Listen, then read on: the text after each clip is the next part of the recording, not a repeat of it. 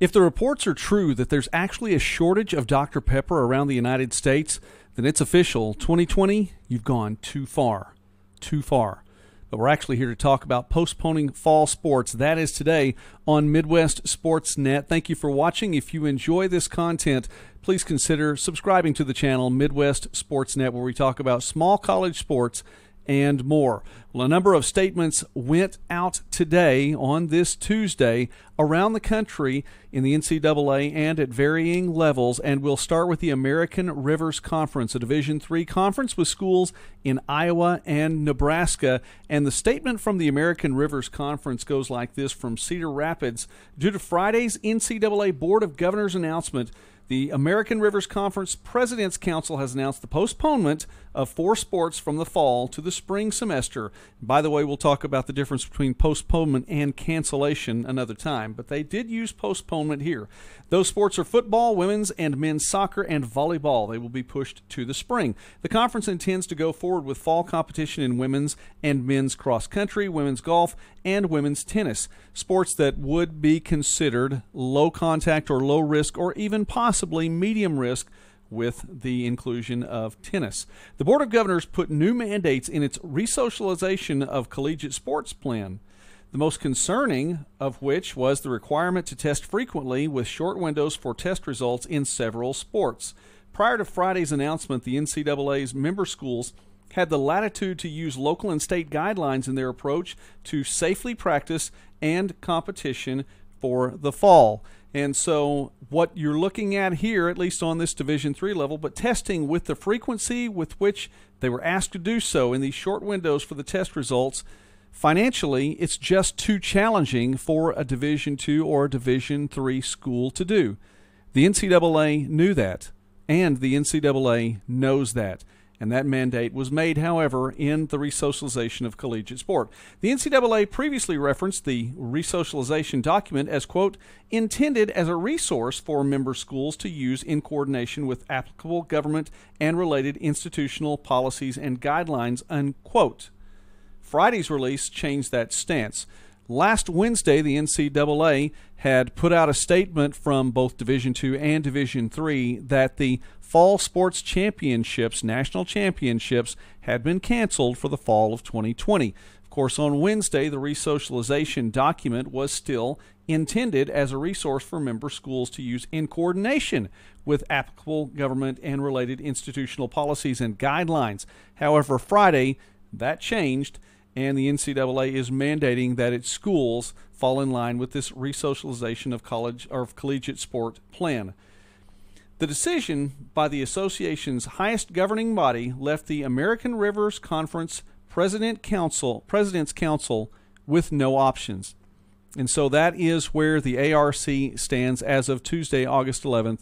They had no choice but to postpone the fall sports competition quite possibly to the spring for football and for men's soccer, women's soccer, and for volleyball. The ARC had no choice in the matter.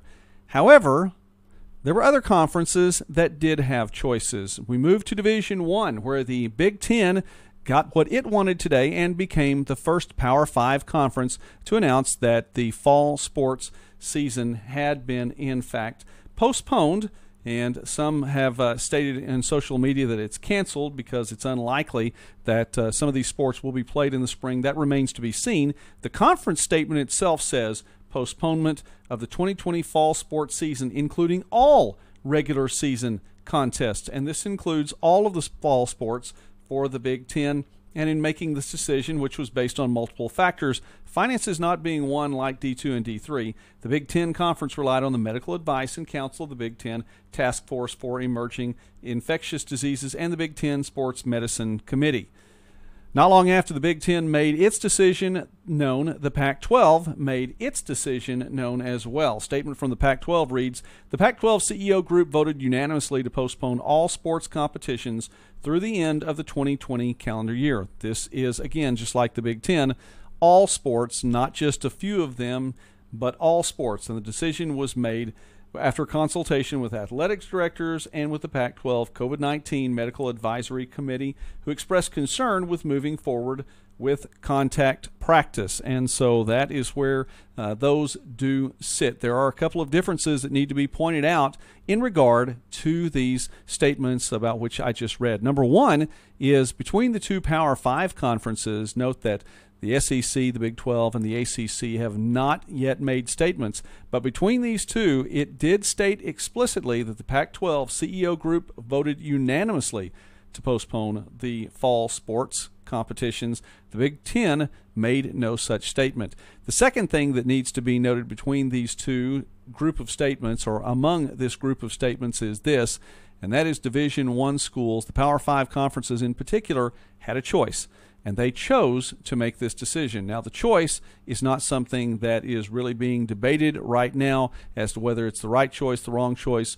That all remains to be seen. The simple fact of the matter is, is that the Power Five conferences had a choice.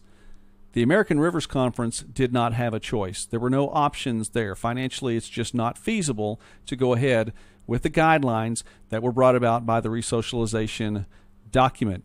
And if you haven't read this document before, you may want to set aside a large portion of your afternoon, possibly into your evening, if you're going to try to read this entire thing.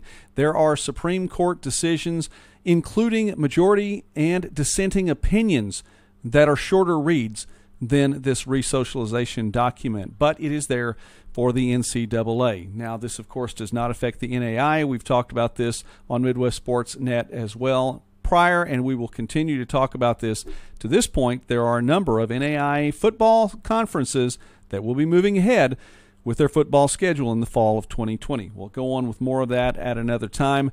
It should also be noted today that the Summit League has decided to postpone its fall competition for the fall of 2020. So that is there as well. I want to say thanks for watching today. If you did like uh, and enjoy this this content, please do like and share, and please do consider subscribing to the channel Midwest Sports Net. I'm Joey McWilliams. Thank you for watching. God bless you. Have a great day.